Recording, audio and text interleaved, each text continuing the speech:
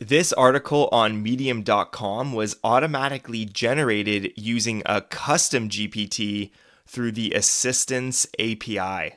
We've seen this section in the developer console for a while now, and as of tonight, in the newest update for the Autoblogger, we can now use all of the assistants that you've created to write blog posts, comment on Reddit, perform an SEO heist, reply to new tweets, and post as your personalized Xbot.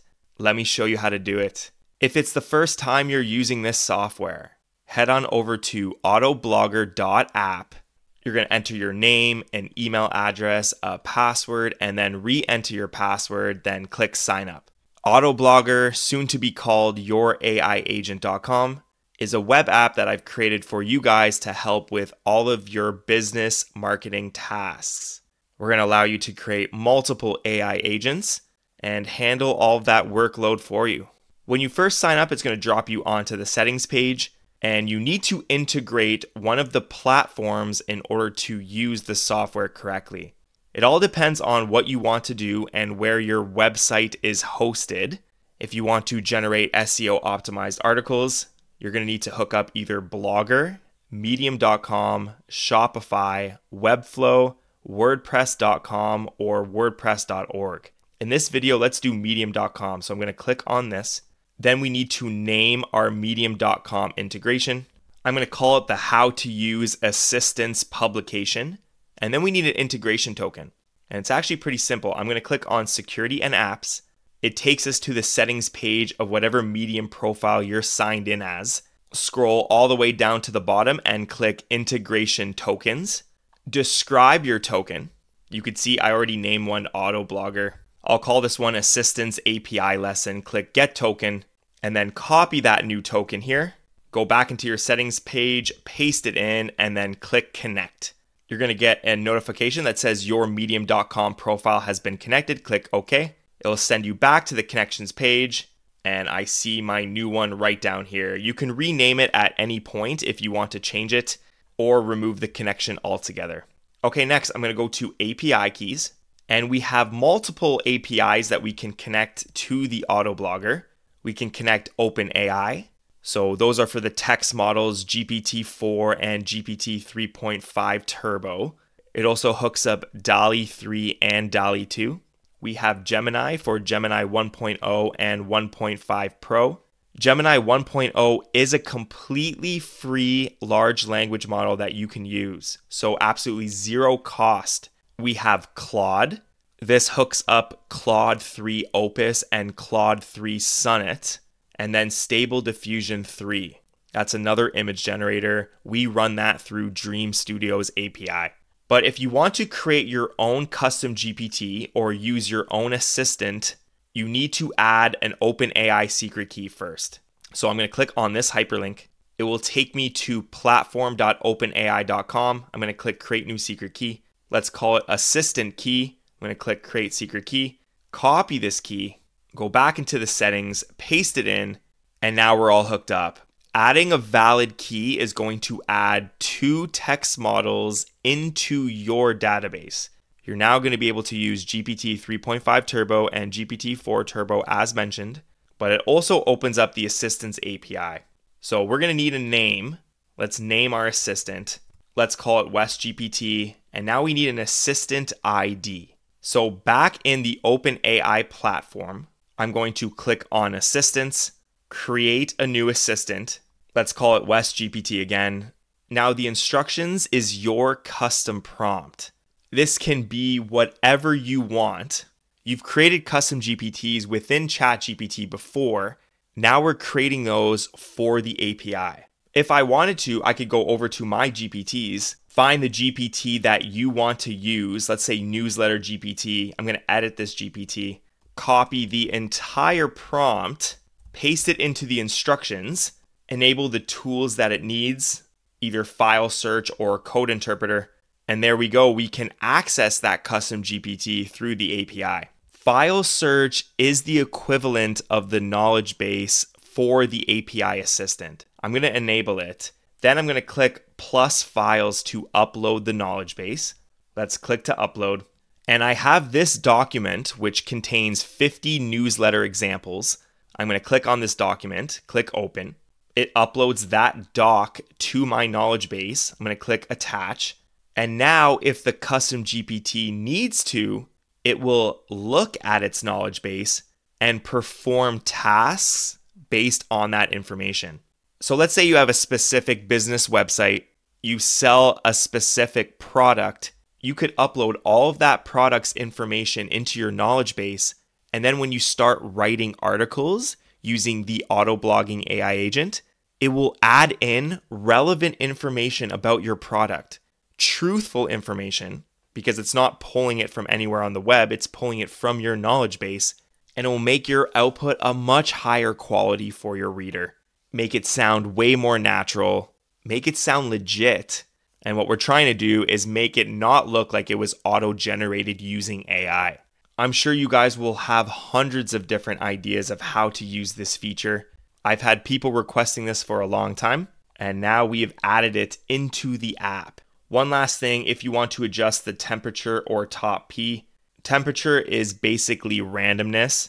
If you want the exact same generation each time, lower this to zero, the model then becomes deterministic. I definitely don't want that. I don't know why you would.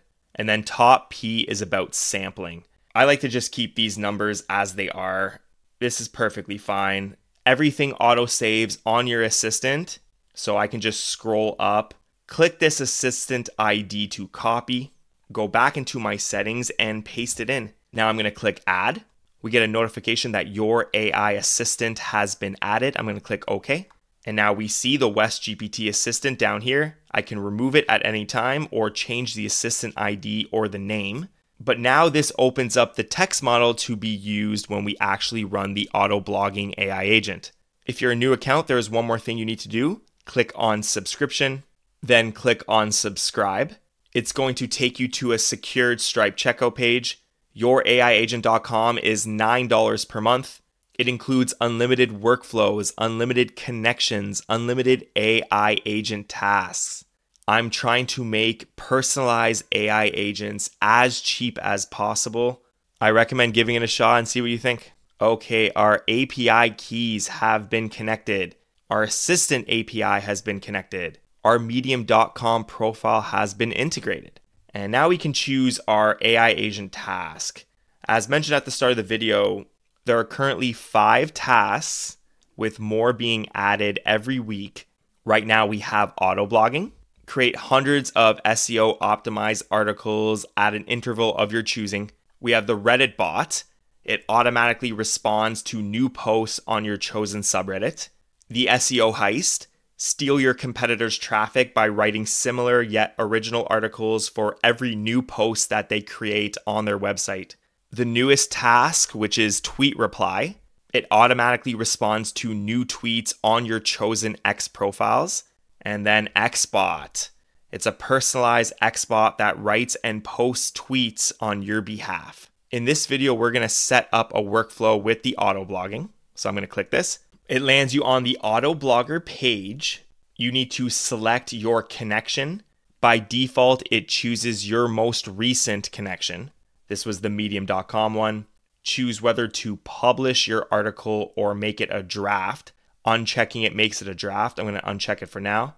Now we need to choose our text model. Because we added the OpenAI secret key, we automatically got GPT-4 Turbo, GPT 3.5 Turbo, and this is the assistant that I created, WesGPT. I'm going to select it.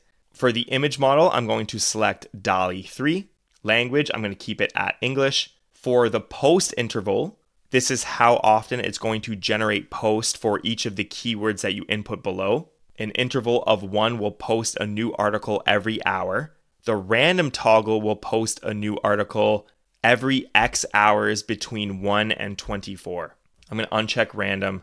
Link URL and link text drops a hyperlink at the bottom of your article. You can use it for internal linking, external linking, affiliate links. The link URL is where you want the link to hyperlink to, and the link text is the text that you want hyperlinked. Your text prompt is extra information that you want to give to your assistant. In this example, I say that the output should be in HTML format. medium.com accepts HTML, so it'll make sure our article is formatted correctly. Image prompt is extra information that you want to give to the image generator model. And in this example, I write no words, illustration only, colorful, and modern. Next is our keyword list. You can input multiple keywords at a time by separating them all with a comma, or I can type them in manually. So let's go the fruit route. I'm gonna go mangoes, cherries, apples, bananas, and pears. I got a bit of a sweet tooth today. There are five keywords, which means it's to write a new article for each of those keywords every hour because that is my post interval. I'm to click generate posts. It's going to take me to the workflows page. At any point, I can click on the info button to edit a running workflow. And then I can change my text model, the image model, change the interval. Maybe I want to publish the articles now. But we also see when the next workflow is going to occur, the current keyword we're writing an article for, and if there are any error logs or not. This says all systems operational, which means it's running correctly. All right, let's hop on over to my medium.com profile to see the newest article. And here is the article about mangoes automatically generated by my assistant, the newsletter GPT. If you want to add your own assistant to the Autoblogger app, there will be a link in the description below. If you want to learn how to add the Assistants API to your own application, I built and designed an online course called How to Build a Custom AI App. There's going to be a link in the description as well. If you click on View the Syllabus, then click on Module 3, Adding AI Features. It's the newest lesson right here. And if you like this video, I put two more on the screen right now. Both have been catered to your personal YouTube watch history. Give one of them a click for me, give it a watch, and I'll see you in there. Later.